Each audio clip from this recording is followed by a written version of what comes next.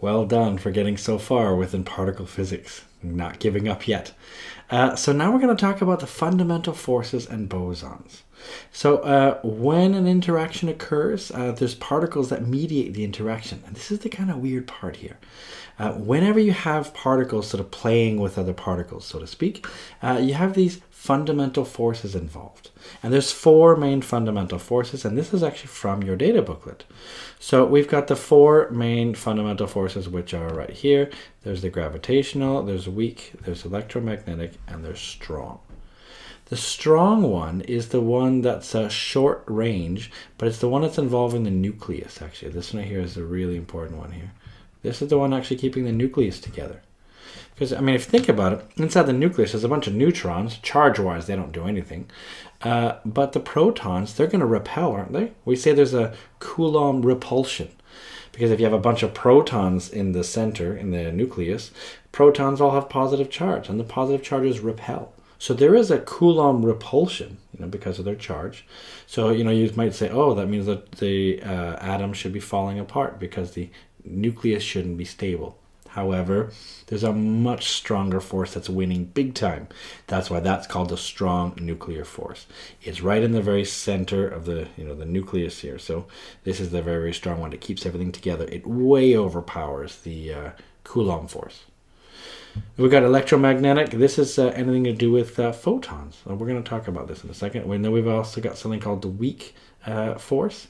This is something that sort of um, involves these lighter particles. And then we've got gravitational, so anything to do with mass. Uh, then we've got all the particles that experience this.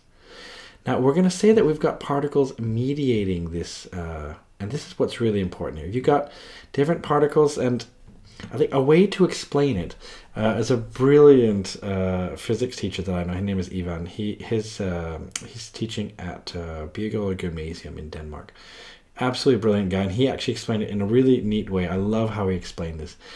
He saw these particles mediating almost like having a wingman. Like you know, if you're if you're gonna go date someone, uh, let's say I see I don't know a girl or boy, somebody you know across the the hall, and I'm too shy to go talk to them.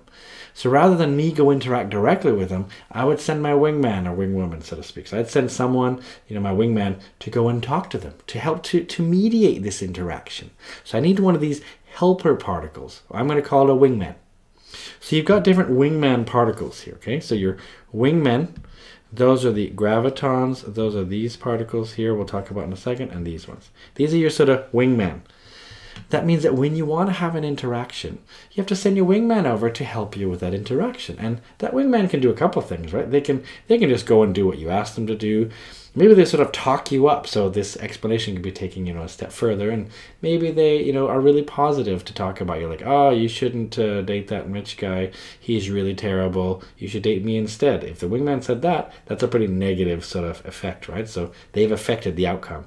Whereas they could be really positive hey you should really talk to that rich guy. He's really nice. Da, da, da. So in that in that sort of analogy sense, how a wingman can affect the outcome, one of these wingman particles these are called these bosons, okay? And in fact, they're often called gauge bosons. So these are, here are your different bosons. These are your wingman particle. There's these ones, these ones, these ones, and these ones. So first of all, we have uh, particles that are involved in the electromagnetic uh, forces. So things to do with electricity and magnetism. So in this sense, the wingman is a photon. That's just called a photon. So that's a nice easy one.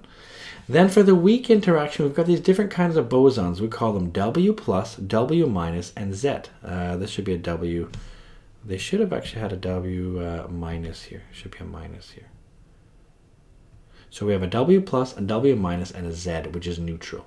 So if you think about it, these ones have to do with charge. So the Z has no charge involved with it. The W minus has a negative charge, and the W plus has a positive charge. So this is how these ones work. They mediate this weak interaction. Like I said, those will be like lighter particles, things like quarks and leptons. So to be honest, when we're drawing these things later called Feynman diagrams, they're mostly going to be relating to these ones. However, we can also do them with these. Uh, so these are your W plus, W minus. That's why I put them right here. So W plus and minus are called the W bosons. Then you got your Z zero, that's the Z boson. You've got your photon, right? That's another kind of kind of boson. Now we've got something that's really fun. The things holding the nucleus together are called gluons. Those are things that are gluing the nucleus together. I love that name, gluon. And then we've got these other particles called gravitons. And these aren't quite sure, we're not quite sure about gravitons yet. I mean, theoretically they should be there, but it's really hard to actually detect them. So I didn't put them here because we're not quite sure about them. We should find them. You know, if there's particles meeting, we should find gravitons. So these are the what are called the four main bosons. These are going to be your wingmen, right? So I'm going to call it that. So these are your wingman particles. So if you're going to help mediate an interaction, you need one of these helper particles out this, this, this, or this. And the main ones you're really going to be looking at are uh, actually especially these and these. These will be the main ones we're really going to look at. Now we have a even more important thing, but also newer and a little bit less known, is the things called the Higgs boson. So Higgs actually predicted this uh, quite a long time ago. Um, he predicted that, well, if this, what's called a standard model, if that's the case, then there should be a particle that's responsible for mass, for everything. It's sort of, it's been nicknamed the God particle because it's, it's relating, it's how everything gets mass. Um, and we have something called the Higgs field, and as you pass through the Higgs field, that's sort of how you have mass so to carry you around. It's not so simple. So, and luckily for the IB, you don't have to know the Higgs boson in detail because, to be honest, we don't know it in detail. Good news, it was discovered just a couple years ago, so it was for sure confirmed. A big part of the reason for the existence for this Large Hadron Collider, this LHC as it's called, that's all about particle physics, isn't it? Uh, so it was all, I mean, a big part of it was to detect the Higgs boson, and luckily they found it. Uh, so that's why we've got the Higgs boson, which is responsible through these interactions for mass. And all of these have mass.